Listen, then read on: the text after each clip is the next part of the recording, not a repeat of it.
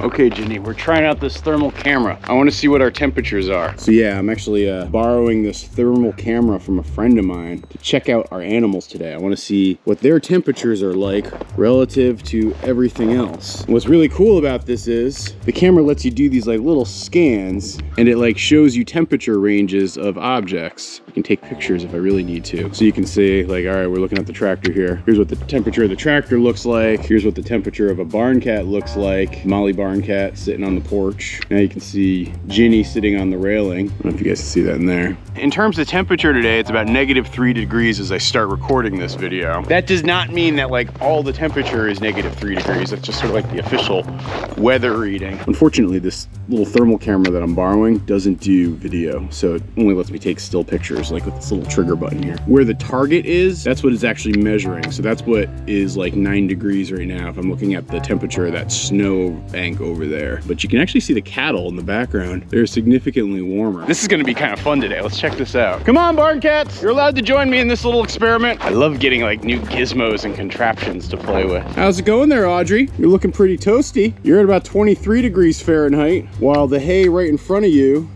is only about seven degrees Fahrenheit. And with apologies to all my uh, European and Canadian friends, we will be writing down the temperatures as much as possible in Celsius alongside the Fahrenheit readings that I give you. Would you look at that? That's pretty cool. The parts that are white are the hottest. So like her warmest spots are like her eyes. You can see like kind of the outer spots of her, like her back area, her hindquarters, the further away you are from her the uh, cooler she gets. Yep, look, her nose and her eyes are probably the biggest areas where the heat's escaping. And so that's why those are the warmest. Here we have Molly Barncat rolling around. Let's see how she's doing. Yeah, Roger, head is the warmest. The back of your body, that's the coldest. Pretty cool. And here we have the hottest pup around. What's going on there, Toby dog?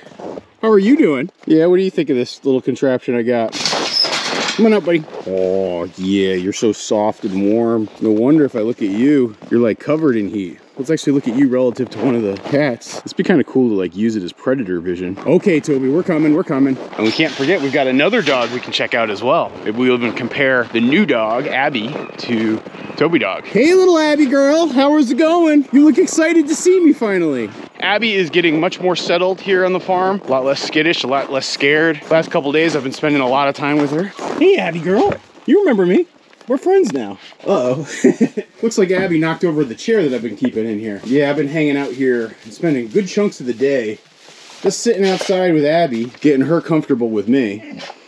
Come here, let me give you a proper hello. Come here, come here, girl. Oh, yeah. Come here, Abby, Abby, Abby, Abby, Abby. You're settling in quite nicely. You are such a sweetheart. You know that? I can tell you're hungry. Let's feed you right out of the gate. All right, we're gonna give you some of this beef stew here today. I am finding that it's important to feed Abby and Toby separately for the time being. I want to avoid conflict and make sure both dogs feel good about their place in the world. Okay, here you go, girl. Good girl. So what I'm doing here is actually continuing to condition her to be okay with me around food. You actually don't want them to get like too food protective. Oh, she's devouring it. Might have to give you some extra kibble because you're just a growing little puppy dog. You might have even noticed like when I first touched her, she jumped a little bit like she was startled. That was just simply because she's getting used to me, me being around her, but she's seeing that, oh no, she can eat and I'm not a threat, but I will take this away from her now. Nope. Sit, sit, sit. Good girl. Yes. That's also sort of how you reward when you start the training process. Even though I'm still really just doing the familiarizing her with the farm process for right now. Look at that. That's pretty cool. Good job, Abby. Good girl. Good girl, Abs. All right, Abby, you want to come with me? We're going to do chores. We can spend time with Toby. And we'll take temperatures of all the animals. We are going to have to get you some fresh water, though. Look at that bucket. Ooh.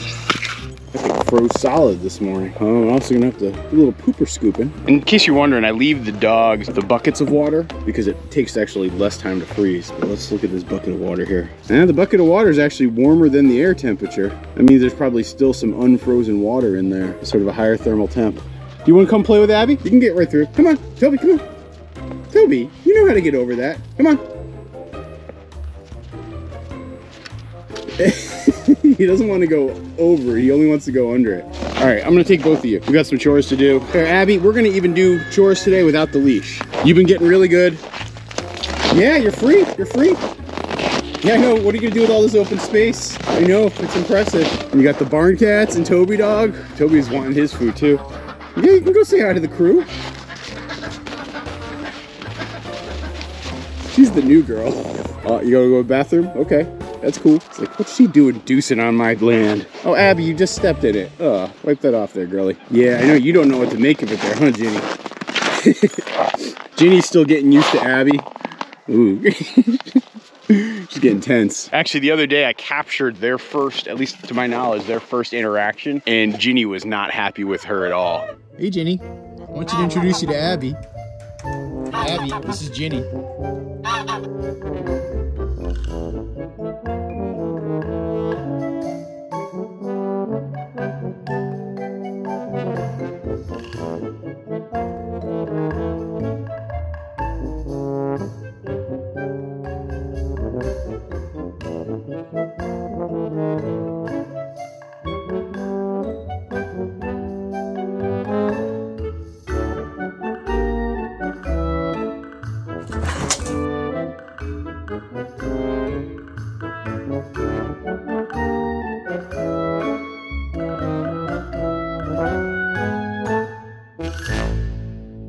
It's okay. Don't get stressed. It's okay. I know, there's big dogs everywhere and they're all scary. But Abby, you're just a good little girl. Yes, you are. Come on. You guys can run around and play a little bit. I'm gonna pour some water.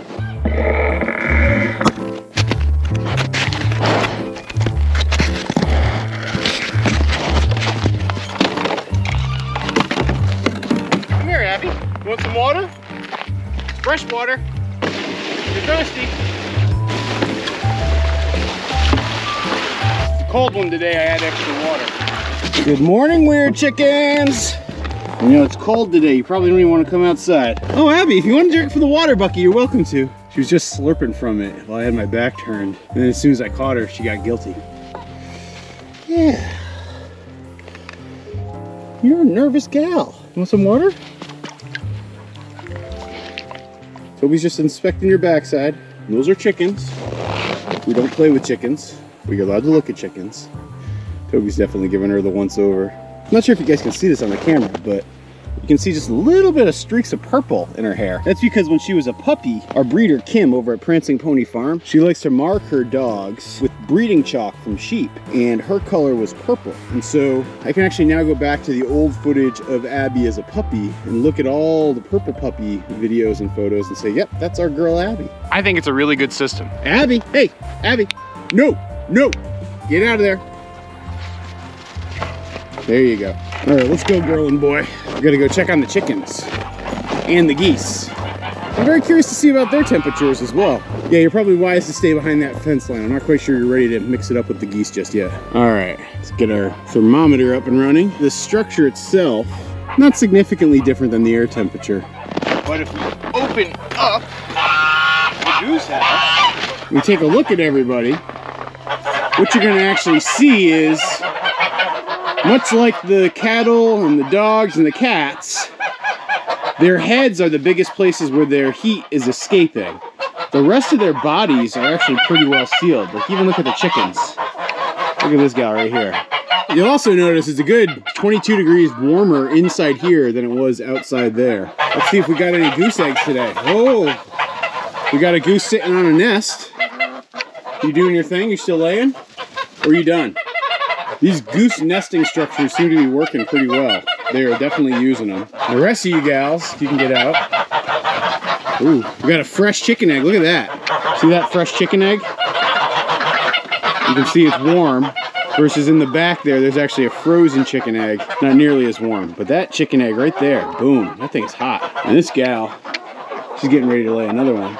She's like, why are you bothering me? All right, all right. I won't bother you all. If you guys want to go out, you can go out. If you want to stay in, you can stay in. I know it's cold today, so you generally like to stay inside a little longer when it's cold. And you, I'm gonna be back to check on you in a little bit. I bet you I'm gonna have a fresh goose egg right there. And I really wanna get that fresh goose egg, especially before it cracks and freezes. Yeah, the geese are gonna eat some of that chicken feed. Chickens have taken over the water pool. They seem thirsty. Look at our girl Carmen, wearing her Uggs, looking all dressed up. How's it going there, Carm? Geese are coming in there for some gulps. Kicking the chickens out. Geese are the definitely the dominant species living inside of here.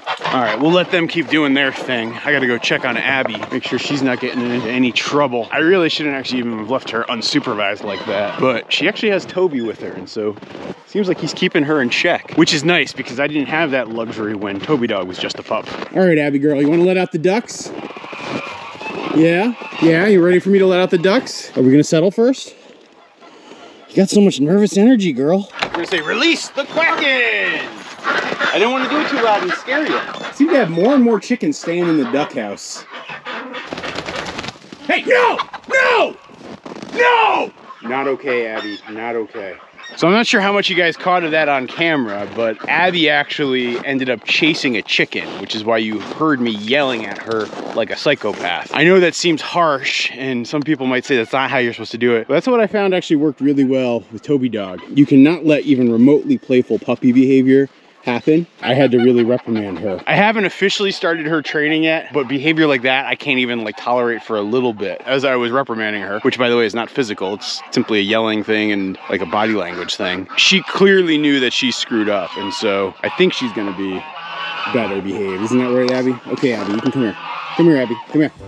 Come to me, come here. Okay. You gotta remember, you can't chase birds. That's like rule number one on this farm. Above all else, do not chase the birds. You got that, Missy? I know. Yes, you're a sweet pup. You have those adorable brown eyes. But I cannot let you get away with those things. Because that's how you become a bad dog. And we want you to be a good dog, like Mr. Toby Dog. I think Toby's a little shell-shocked from me yelling at Abby as well. Ducks finally came out. Morning, ducks. Good boy, Toby. You are the best dog. Sorry, Abby. Don't mean to put you down like that, but Toby, you are so well behaved. You know, one comparison I did want to try to do with this heat gun is actually look at the two dogs and compare their temps. Toby's got a much thicker coat and he's bigger and he's older. So I just wanted to see, is there like any difference from a heat perspective? Abby's in there like about 25, 27 degrees. Toby in his back parts is like 16, 18, 14 degrees. That actually means that Toby does a little bit better of a job holding in his heat than Abby does. So because Abby is yeah, like in the 20s when I look at her body her various body parts. That means more of her heat is escaping. It's kind of cool, actually. That is not something I would have really thought about, but it makes a lot of logical sense. Yeah, Abby, you're gonna thicken up your coat. Uh, the ducks, they leak a lot more heat relative to, say, Toby Dog. I think Toby might be the most heat-efficient animal on the farm. I mean, if I had to guess, it was gonna be either be Toby or maybe the cattle. I'll have to actually do a comparison here. We're gonna give Toby a rating of about 15 degrees. And I know this isn't super, super scientific, but it's gonna be enough to actually give me some good information. Oh, look, Abby's got a bone. That's one of Toby's old bones, huh? That one's been kicking around for a little while. Toby doesn't seem to mind. But I bet you Toby's also really hungry right now, so we're gonna feed him. A nice base of kibble going. Got a box of beef stew for Toby Dog. Oh, I'm sorry, turkey stew, I stand corrected. And then we always have Ginny Barncat trying to crash the Toby Dog food party. I will feed you in a couple minutes, Ginny, don't worry. Ducks are making their parade to the water. Ginny, I do say you seem a little chilly today. I tried to convince you to come in last night, but you didn't seem to want it. When it gets to be like negative temps, I will actually bring the barn cats in. Hey, hey, get out of there. Oh, can you hear Toby? He's getting a little annoyed with Abby now that he knows he's about to get fed. And Abby's sort of checking out his food. There you go, Toby.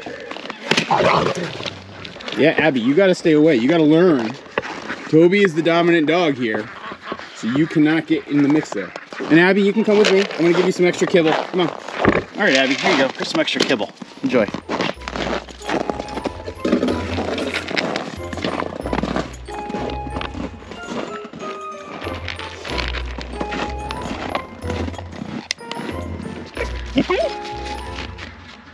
Here, I'll give you some water too, girl. Okay, Abby, I'm gonna leave you here for a bit. I'll be back to visit you, and I'm gonna sit in that chair and respond to emails. But I think you're good here for now by yourself. Part of a livestock guardian dog training is actually teaching them to be okay by themselves. I mean, she'll pretty much always have Toby, but you want a dog that doesn't need human contact 24 7. All right, say bye to everybody, Abby. You be a good girl. Let's go check on the cattle. Oh, actually, I forgot. Before I check on the cattle, gotta feed the duck. And I want to go check on my goose egg. It's not that bad a day there, geese. Sun's even coming out. Would you look at that? Got a nice freshly laid goose egg. So the goose egg itself is like 47 degrees. And the ground temperature right around it is like 21, 22 degrees. Hey Toby, you wanna see this goose egg I got? He's actually probably gonna get a little jealous of the goose egg I got. Definitely feels nice and warm and fresh. You know, one question I often get is because I'm allergic to duck eggs, like I can't eat duck eggs. When I eat them, it's like I get food poisoning. People have asked me if I like am allergic to goose eggs, and the answer is I'm not sure because I've actually never tried it because I've been too afraid. That might become a subject for a future video. I'd be curious if people want to actually see something like that. Or is the prospect of a video like that just absolutely revolting? Let me know down in the comments. All right, let's check the temperature again of our cattle and really study them and compare them and see who is the warmer animal. Is it Toby or the cattle? Like in our midsection, it's like 38, 30 degrees, 34 degrees. Like see where it's all white and red? That's pretty warm over there. It tops out at 47 according to the meter. If you look at her head and neck, it's like in the 40s. You know, Toby, when you were looking at him, he was much, much cooler. So I actually think Toby Dog, with his thick fur, is actually even more insulated than our Highland cattle, which is pretty remarkable. Look how much heat escapes too from their horns. Those things are like in the 50s. This was a very cool tool. If you guys found this to be an interesting video, I might actually invest in like a better quality one of these. This is just something I'm borrowing from a friend that's kind of, not to knock his equipment, but like a slightly lower end version. Like I might get a cool version that can like grab video and the like too, which would be pretty cool. Hey Jen, you hungry? Yeah, Ginny is clearly hungry right now. Get that butthole out of my face. I'll feed you, hang on girl. Here's some fresh water. Get you some food. We're gonna get Ginny some food. There you go, girl.